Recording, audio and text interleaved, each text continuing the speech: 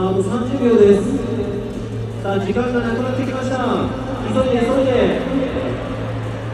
さあイケメンつけ麺どちらが勝つんでしょうか。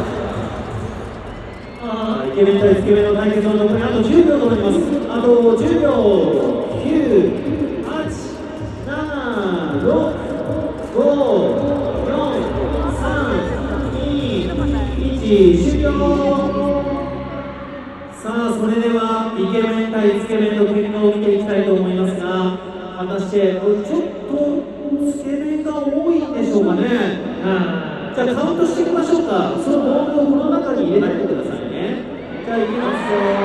順番にいきます。はい。せーの、1